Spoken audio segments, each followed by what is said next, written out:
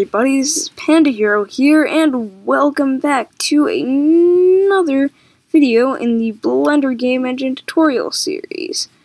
Um, it has been a long time since I've done one of these. I think it's been about three months, so that being said, I'm just going to do a quick uh, overview of what we did in the last tutorial and what we'll be doing in this tutorial, and we'll get on with the tutorial. So, basically, um, what we did in the last tutorial was we finished up our simple game by um, making uh, an objective for our game. Uh, um, like uh, our objective to the game in order to win it was you're supposed to push a ball into a box, and then um, you won the game. So um, yeah, that's what we did in the last one. And if you didn't check out this tutorial series from the beginning, I highly recommend you do that because it will explain all the basics which you'll need to know for this tutorial. Um, so then in this tutorial we'll be learning how to make a first-person shooter from scratch using logic bricks and maybe a Python script or two uh, there, uh, but that may not happen, but um, yeah, so uh, without further ado, let's get on with the tutorial.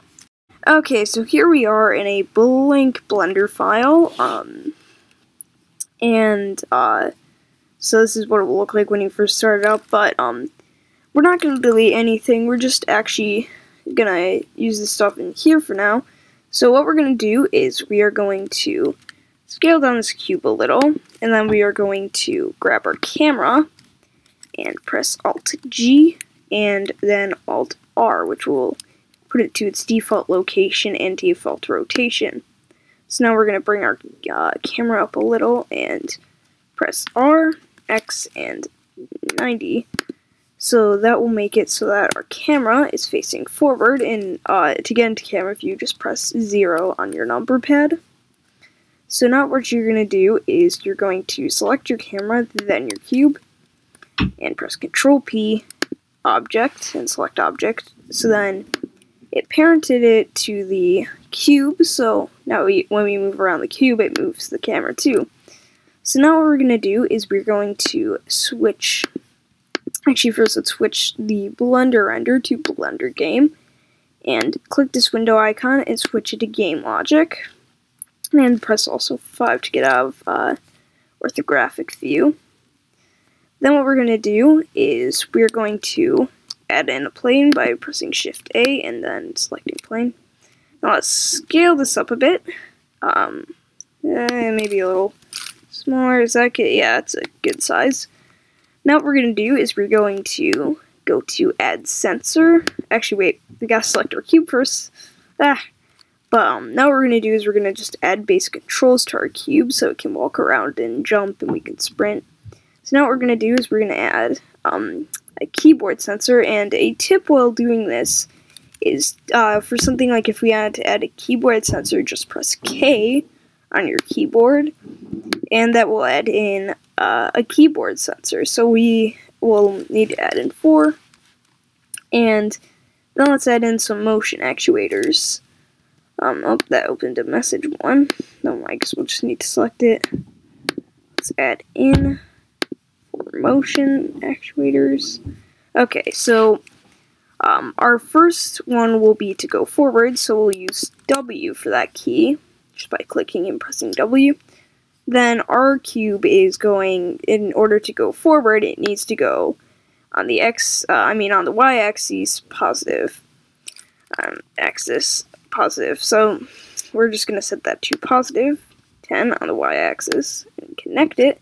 Now if we play, our cube goes forward. And I should actually probably add some physics to this, so just go to this uh, physics tab right here and change it from static to character. So now it goes forward. Now what we're going to do is we're just going to collapse these. We're going to switch this one to S, and where this is going to make it go backwards, we need to go negative 10 on the x-axis. So do it like that.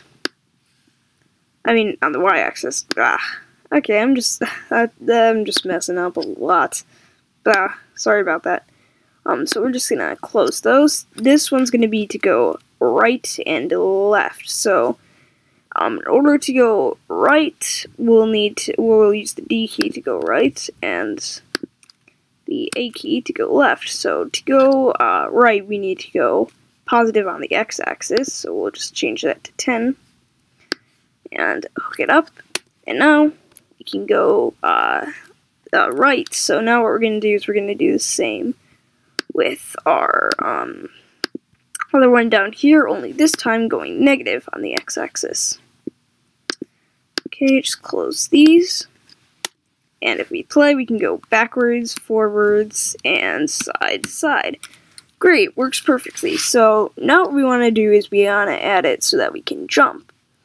So in order to do that, let's just add another keyboard sensor and another motion actuator and change this from simple motion to character motion and do jump. So we'll just hook these up and we'll change this to spacebar. Now, jump and we can go forward, backward, side to side, and jump. Now, if we want to sprint, we can add a, another keyboard actuator and we can press W is our forward key, and then our first modifier will change to shift. Now, how this works is it will, uh, so if we're pressing the W key, it will just make us walk, but if we're holding down W and left shift, it will make us go faster. So then we'll add another motion actuator and change this to positive on the y-axis and 0.15 on the y-axis positive. So now we have our controls down, so let's go into camera view. So we can go forward, backwards, side to side, we can jump, and we can also sprint. So that's that's good. Um, but one thing you'll notice is we can't actually look around with our mouse or use mouse look. Now, um, we, I know, usually you'll need to write Python script for this, but a new feature that was added in Blender uh, 7.2, 2.7.2, yeah, uh, which is the version I'm using now, is uh, was a uh, actuator in the or an option in the mouse actuator, which was a look uh, actuator, which I think actually the mouse actuator is a new one, but um, it's they added a look feature so that you can use mouse look. So basically what we're going to do is we're going to add a mouse actuator and change it to look. And we're going to add a mouse sensor and change it from left button to movement. Now what we're going to do is we're going to uh, only use the x-axis, so what we got to do is we just got to turn this off by simply clicking use y-axis. Now, if we hook these up, we play, we can look side to side, which is good. And it will also turn while we're doing that, so yeah. Uh, but we can't look up and down, so we gotta do the same thing with our camera. So how we're gonna do that is we're just gonna add another mouse sensor. Uh, not wheel up and down movement. Switch this to mouse. Look, and we're gonna only use um, the y-axis, so now we can look, uh, oh, forgot to connect them. And we'll collapse them too. And now we can look up and down and side to side. Yeah, so we have our mouse look. So, um, another thing is that, uh, and usually in first-person shooters or first-person games, is usually the camera will bob up and down, giving the sense that you're walking. So that's actually pretty easy to do. So all we need to do is just, we're going to pull up our timeline here. Switch this to timeline. We're also going to change our text editor to dope sheet. Let's just zoom in here so we have a better view on the dope sheet. So now what we're going to do is we're going to change this, um, our playhead to zero. We're going to keyframe by pressing I and location on our camera. Make sure your camera is selected. Then uh, go to frame 5 And let's grab our camera and move it down a bit to about there. That's good. Um, zoom out a little so we can see it, get a better view of our camera. Then uh, keyframe the location. Now what we're going to do is we're going to select our first keyframe on the dope sheet, press Shift D to duplicate it, and bring it to frame 10. Now we'll just make the start of this at frame 10. Now if we play it, we have a bobbing motion. So now in order for this to work, we're just going to add a keyboard sensor and use W and add an action actuator. So what we're going to do is we're going to select camera action and select loop stop. Then what we're going to do is we're going to make it start at 1 and end at frame 10. So then what we're going to do is we're just going to hook these up. And now, if we walk around, we get a bobbing motion, but we also want to have this so that when we go back and side to side, it will work too. So that's pretty simple. Um, just add three more keyboard actuators and switch this one to S, this one to D, this one to A.